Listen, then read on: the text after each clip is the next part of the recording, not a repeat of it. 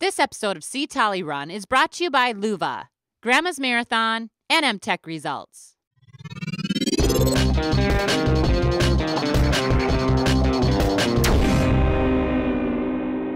Hi, I'm Olympian Carrie Tollefson, and today I'm interviewing Sara Hall. So let's get after it. All right, Sara. So I want to talk running, but I can't help but get right into mommyhood. I mean, really, this is so exciting, and I think everyone is so excited about your running, but more importantly, you are a new mom of four beautiful girls. So talk about that. Yeah, it's been really fun. You know, um, deciding to adopt them was kind of just a leap of faith and just taking a plunge. Like it wasn't something I really felt like really strongly about or like just you know you didn't quite always have the emotions for it because it's it's kind of hard to fathom what it's going to be like especially having two teenagers and stuff but um but i think it's just it's really exceeded my expectations as far as how fun it would be and how easy of an adjustment so far it has been for everyone and so i'm yeah i'm obviously really thankful we we decided to do it and just kind of amazed at God's hand in the whole process. And um, yeah, it's, I mean, it's definitely a, a big life change, but a really fun one. what when when you still hear the girls say mom or you know you have a four year old right is lily four five, 5 mm-hmm. I mean she might even say mommy like are you still like are they talking to me yeah it is a little bit um, there's definitely surreal moments with it and that took a little while to get used to and but um but i think like yeah, now it's starting to feel more normal. The first time I was driving them to school in our, you know, suburban, I think it was like, it felt like I was playing the suburban mom in a sitcom or something. Like it didn't really feel like this was real, but um, but now we're kind of in our groove and feels normal. What's been the hardest adjustment? Um, I think just like wanting to always be active with them and do like fun, active things, but then for running, obviously, we're not looking to do a lot of activity outside of our training. So I, I don't find a lot of the other aspects of being a mom as tiring. Like sometimes, like doing homework and stuff. Like I'm like, oh, this is not fun. But um, but it's more like I want them to like run or like we want to do like go hiking or things like that. But that isn't really on the training regimen this yes. this time of year. So um, I look forward to doing more of that maybe in the off season. What has been a something that's really fun for them that's now American, not Ethiopian. So, do they have any good food that they like to eat, or is there a new pastime that you guys have introduced to them that they've never done before? Yeah, it's really fun because everything is kind of a first for them right now. Like they, um, you know, they grew up in a pretty rural village, and then we're in an orphanage where they were just confined to like, you know, like a house for three or four years, and so um, so now it's it's really been fun to see like what their gifts are and their passions and um, and just introduce them to a lot of new things. But food was definitely something that took a little bit for them to uh, get used to because they were used to only eating a few things their whole life, and so just kind of the the look of something new was like ah at right. first, and kind of just getting over that barrier with them to like get them to try things, and then now that like they're pretty pretty good. They eat quite a bit of of our food and like it and stuff. So we actually cook a lot of Ethiopian food at home though too. Um, so that's been fun to like just learn to do that together and and I think it helps them from getting too homesick from their country. yeah. So coming off an awesome marathon in Chicago, you ran 231, new PR, and you called it kind of your new debut. yeah. and then you were second at the .US 12K championships, which was it was like 3 weeks after Chicago. Yeah, I think about yeah, five weeks or somewhere around there. Yeah. Okay. No, you're right. I think more like think three. It was three, yeah. And yeah. then now just raced yesterday on the track for the first time, kind of rust buster on the track. And then the next one is the the 2016 LA Marathon Trials. So how are you feeling going into that, and what are your expectations? Yeah, I'm feeling good. Um, I'm really enjoying the training right now, which I think is the main thing. Um, when I just get in a good groove training, I feel like the races kind of follow, and so um, you know, the biggest change, I guess, this buildup is I'm going to be spending probably the whole time at sea level when um, my last two buildups have been at altitude. And I feel like I put in a lot of time at altitude this year at pretty extreme altitudes in Ethiopia. And so this has been a really refreshing change to kind of be able to run a lot faster in workouts and, um, and just more turn, just better turnover even on my runs and things. So um, I'm excited to see how that translates uh, on race day. I might have time for maybe one half marathon or something before, but um, not sure yet. So yeah. What is your secret? Because I think everyone kind of wants to know. Like you have been doing so well the last few years, and you're racing all the time. It doesn't matter if it's a steeple, a mile, a you know, a marathon, cross country. You're just you're going and going for it basically. What's the secret? How do you recover so fast?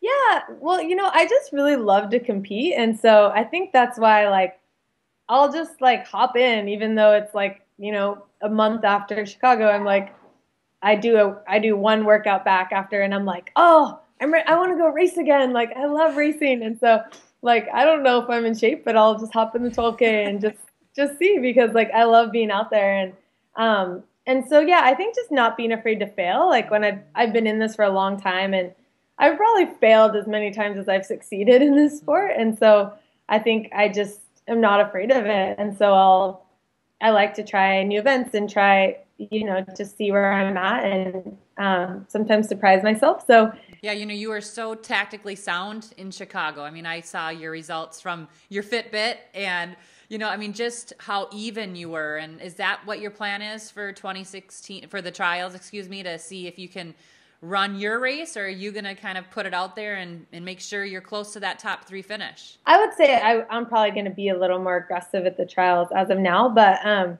I'm going to see how my training goes and mm-hmm. uh, maybe make a plan based on that. Ryan's doing a good job kind of coaching me through everything, and he he's the one yeah. I tr- you know, trust to he knows the marathon better than anyone. So yeah. So Ryan's coaching you now. Yeah, well, Ryan is, is handling this build up, and he was pretty involved with my last two build ups, so mm-hmm. it's a easy transition. Um, but, but yeah, he's he, kind of here on a day to day basis, and that's been really good to also kind of adjust things based on the kids' schedule and stuff, and build training as a family around that. So yeah. yeah. Well, okay. Well, cool. Well, what what is the main goal then for for 2016 and beyond? I mean, obviously, I think we all know you want to make that Olympic team and you have every right to. But what's after 2016?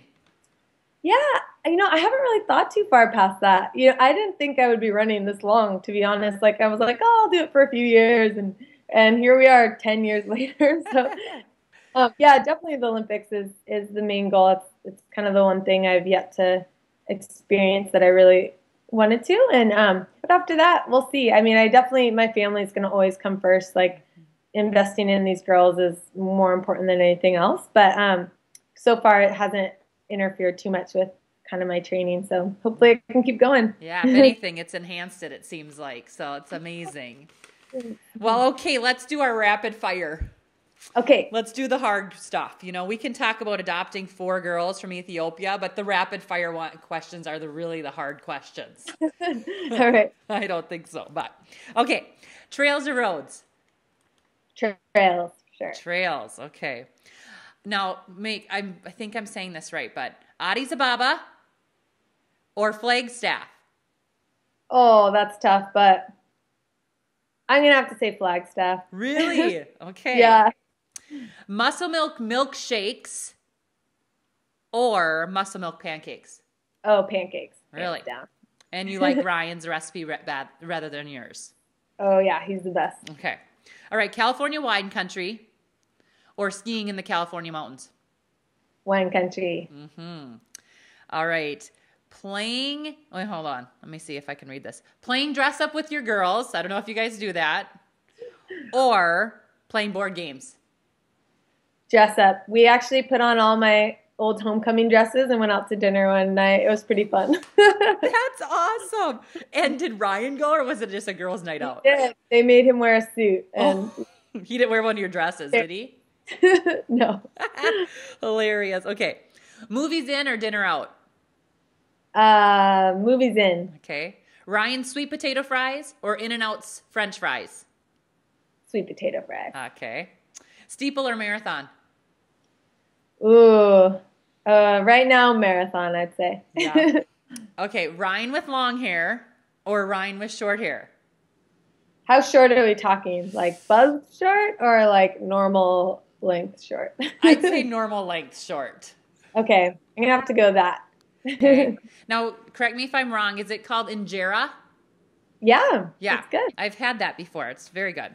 But injera, which is Ethiopian flatbread, Mm-hmm. or flatbread pizza. Hmm. For my girl's sake, I'm going to go injera. As long as it's 100% teff. Okay. Do they help you make it? We're trying. It's hard. It's it's quite a multiple day fermentation process Yeah. that we have not gotten what right yet. Okay. Okay, last question. After the Olympic trials marathon, you'll have some time. So I want to know if you're going to run the Olympic trials 5K on the track or if you'll go back down even further and run the steeple. well, Or right will you now- run the 10K? anything would be fair game, but right now our main thing is after the trials Disneyland. That's kind of the focus. at the moment. Oh, fun. and then Okay. we'll decide maybe at Disneyland. Yeah, because if you make that marathon team, you don't even need to worry about track. That's right. All right, Sara. Well, thanks for having some fun with us and congratulations on any everything. I mean, 2015, 2016 is going to be an amazing year regardless of what happens on the on the roads or on the track. So, Thank you. We look forward to seeing little Tolly. oh my gosh. I can't wait for this one to come too. Mama's getting big, but it sure uh. is fun. All right, we'll see you soon. Okay, tell Ryan and the girls hi. All right. Thanks, Bye. Sara. Thanks for joining me for my interview with Sara Hall. Get after it. If you like this video, subscribe to the C Tolle Run YouTube channel by clicking here. Or check out my favorite episodes by clicking here. And don't forget to get after it.